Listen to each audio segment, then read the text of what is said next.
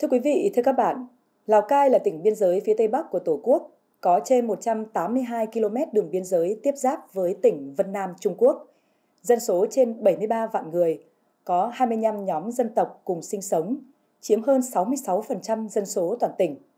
Mỗi dân tộc nơi đây đều có những nét văn hóa đặc trưng, độc đáo, đậm đà bản sắc. Để hỗ trợ bà con dân tộc đẩy mạnh tiêu thụ các sản phẩm của mình, tỉnh Lào Cai đã triển khai nhiều giải pháp kết nối cung cầu, mở rộng thị trường tiêu thụ.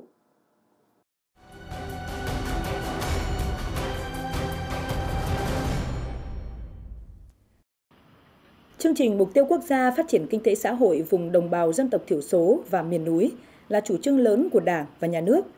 Thực hiện chương trình này, Lào Cai đã ban hành nghị quyết về chiến lược phát triển nông nghiệp hàng hóa đến năm 2030, tầm nhìn đến năm 2050. Chương trình chỉ rõ trong thời gian tới, Lào Cai tập trung chuyển đổi mô hình tăng trưởng, chuyển tư duy từ sản xuất nông nghiệp sang phát triển kinh tế nông nghiệp, đẩy mạnh triển khai các giải pháp xúc tiến thương mại, mở rộng thị trường, phát triển công nghiệp chế biến và dịch vụ hỗ trợ. Mục tiêu đến năm 2025, thu nhập bình quân đầu người khu vực nông thôn Lào Cai đạt trên 35 triệu đồng một người một năm. Phấn đấu đến năm 2050 đạt trên 85 triệu đồng một người một năm. Để đạt được mục tiêu này, thời gian qua tỉnh Lào Cai đã tích cực triển khai các giải pháp kết nối cung cầu, đẩy mạnh tiêu thụ sản phẩm, hàng hóa có thế mạnh, đồng thời tích cực kết nối doanh nghiệp với các vùng trồng nông sản để đẩy mạnh tiêu thụ. Tỉnh Lào Cai thì có 25 dân tộc anh em sinh sống thì trong đó có trên 66% là đồng bào dân tộc thiểu số và miền núi. Chính vì vậy mà trong thời gian tới ngành công thương xác định rằng cần phải quyết liệt triển khai đồng bộ các chương trình mục tiêu quốc gia về phát triển kinh tế xã hội đối với đồng bào dân tộc thiểu số và miền núi, nhất là huy động tối đa các nguồn lực để thực hiện chương trình, đồng thời triển khai có hiệu quả các ờ, giải pháp để thu hút các nguồn ờ, vốn ngoài ngân sách nhà nước, tăng cường đào tạo bồi dưỡng nguồn nhân lực ờ, cho các doanh nghiệp, hợp tác xã, hộ kinh doanh, đẩy mạnh ứng dụng khoa học và kỹ thuật trong sản xuất kinh doanh, tập trung vào các sản phẩm có thế mạnh của địa phương, triển khai có hiệu quả các chương trình xúc tiến thương mại, đặc biệt là đưa các sản phẩm ờ, có thế mạnh của tỉnh Lào Cai vào các hệ thống siêu thị, trung tâm thương mại để phân phối trên địa bàn cả nước, đẩy mạnh các hoạt động xúc tiến xuất khẩu đối với các mặt hàng thế mạnh của địa phương. Mới đây, để thu hút đầu tư và đẩy mạnh xúc tiến thương mại, tiêu thụ sản phẩm nông sản cho bà con vùng dân tộc thiểu số và miền núi, tỉnh Lào Cai đã tổ chức hội trợ giới thiệu sản phẩm, xúc tiến thương mại, thu hút đầu tư vùng đồng bào dân tộc thiểu số và miền núi. Hội trợ này là một trong những hoạt động nằm trong chuỗi các hoạt động xúc tiến thương mại thuộc chương trình Mục tiêu Quốc gia Phát triển Kinh tế Xã hội vùng đồng bào dân tộc thiểu số và miền núi tỉnh Lào Cai năm 2023.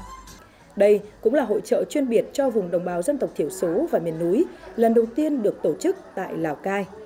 Hội trợ có 120 gian hàng trưng bày, giới thiệu sản phẩm hàng hóa do các cơ sở doanh nghiệp, hộ kinh doanh đến từ các huyện Bát Sát, Bảo Thắng, Mường Khương sản xuất.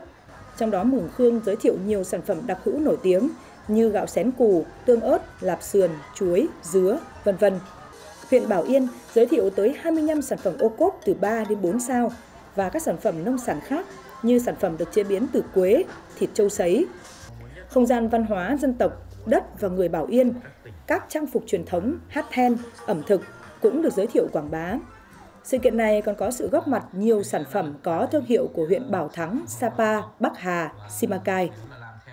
Hội trợ là lần này à, được tổ chức thì à, với mục tiêu là ừ, quảng bá những cái sản phẩm hàng hóa của à, vùng đồng bào dân tộc thiểu số và miền núi của tỉnh Lào Cai đến với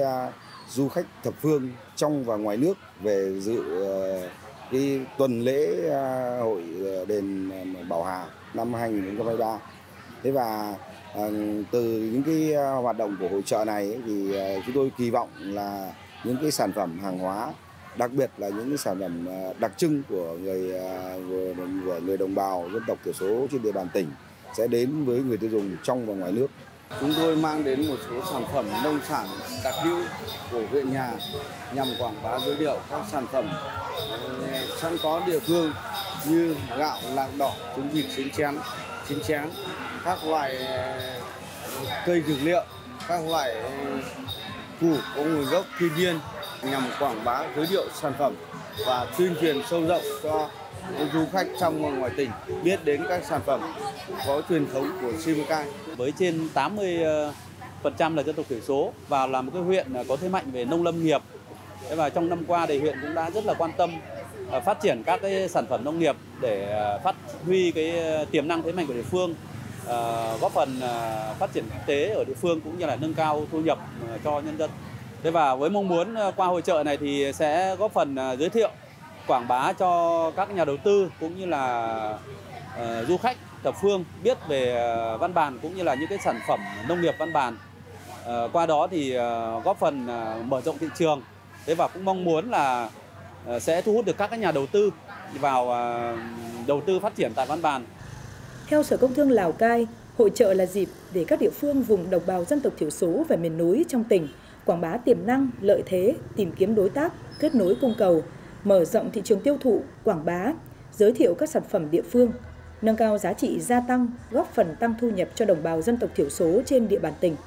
Tỉnh Lào Cai tỏ rõ quyết tâm của hệ thống chính trị trong việc tập trung đầu tư, khai thác, phát triển kinh tế xã hội vùng đồng bào dân tộc thiểu số và miền núi của tỉnh, khu vực được đánh giá là còn nhiều khó khăn so với mặt bằng chung của cả nước.